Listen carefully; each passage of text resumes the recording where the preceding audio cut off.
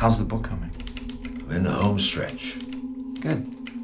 I know a lot of people want to read it. I imagine it would be difficult for anybody to dredge up the past like that, but for you, it must be ten times as hard.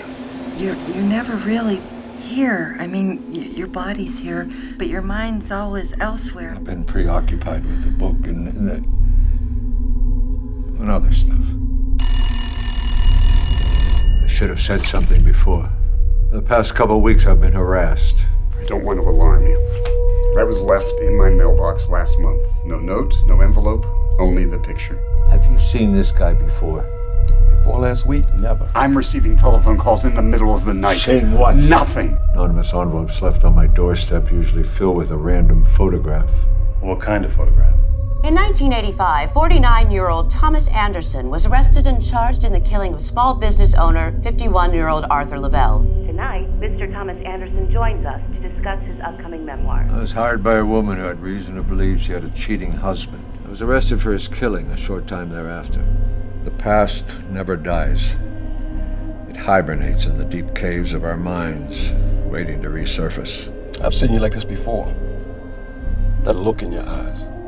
You're not going to stop until you find whatever it is you're looking for. You so desperately want to be a good guy that you fail to recognize one thing.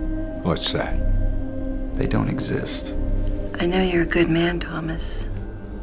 I just hope you let me see it. I will.